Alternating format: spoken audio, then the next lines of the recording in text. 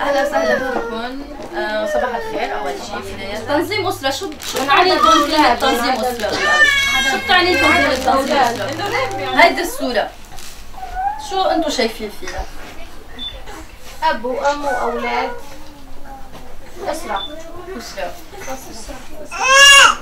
دايما هن كلاجئين سوريين آه، عندهم آه، بس حدا بده يحكيهم عن تنظيم أسرة عندهم خوف من هيدي الكلمة لأنه هن بيفهموا إنه نحن بس بدنا نحكي معهم عن تنظيم أسرة يعني ممنوع تجيبوا أولاد.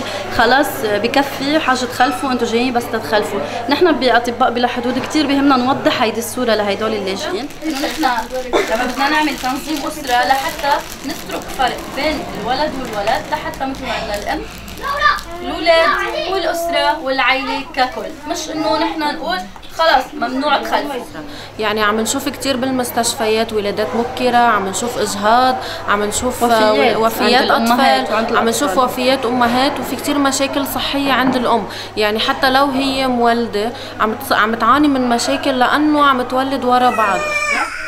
شغلة ثانية إذا عندها نزيف مهبلي. هيدا الواقي هو عبارة عن شيء بلاستيك مثل كيس صغير.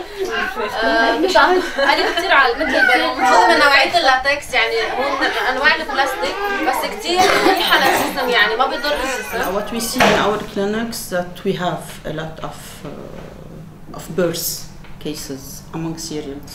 During their stay in Lebanon, some families have got two or three children during those three or four years.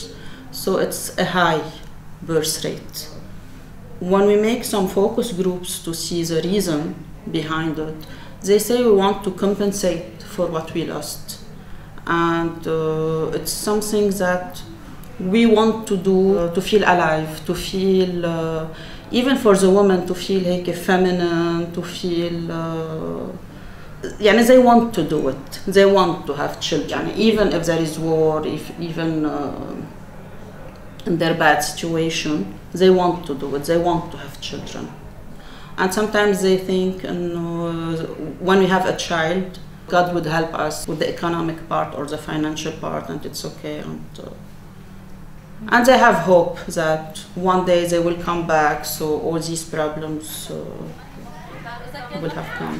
ممكن تحبل اوكي بقى كيف بدنا نتاكد فينا ننفخه ونحس آه إيه ونحس إذا هو عم بي- عم يطلع هواء ولا لا. إذا منه عم بيطلع هواء منه مبخوش بقى. بيكون منيح مبدأه. وصالح للاستخدام. مبدأه إنه عندي ولدين وبنتين وحامل سويت لنا program. إيه، استفدنا عنده كتير يعني. في شغلات معلومات ما كنا نعرفها. أنا إذا بدي أستعمل راح أستعمل آه، اللولب بال- بالإيد. ليه؟ لأنه حسيته هو أحسن شيء لأنه حب يسوي عصب أو يسوي زيادة وزن نقص هلا وزن بعد هذا الولد رح تجيبي ولد مقررين تجيبوا ولد تاني ولا؟ لا حد الآن لا. ليه؟ بس الولد هذا وخلاص. يجوز بعد سنتين ثلاثة أربعة خمسة. إيه. نفكر يعني. أوكي. حسيت شوي أكثر عندي خمس ولاد إحنا متفقين بين بعضنا يعني هيك إنه إيه. مظبطين يعني منظمين وق- وقتنا لحالنا يعني. يعني ما ما بتفكري تستعملي وسائل منع الحمل؟ ما ما ما فكرت في الموضوع هذا ليه؟ متفقين يعني إنه أنا- أنا وياه يعني مظبطين وضعنا لحالنا يعني